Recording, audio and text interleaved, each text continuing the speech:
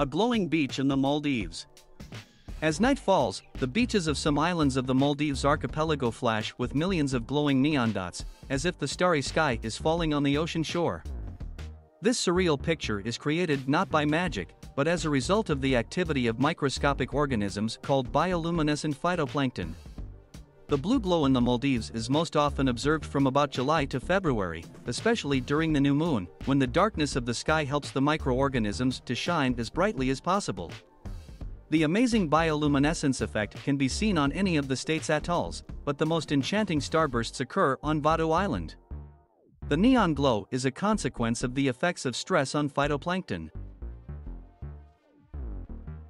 The emission of light occurs when microscopic organisms are excited, such as when waves crash on the shore, lighting up the beach with many fireflies scattered on the sand and illuminating it blue.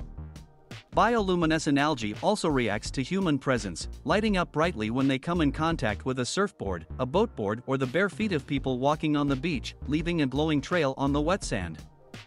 Swimming in the Sea of Stars in the Maldives, according to people who have had such experiences, delivers some discomfort, so these beaches are often deserted.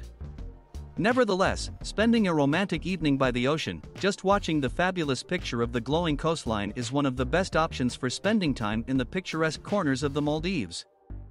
That's all for now. Thanks for watching. Subscribe to the channel so you don't miss any more interesting episodes. And see you again.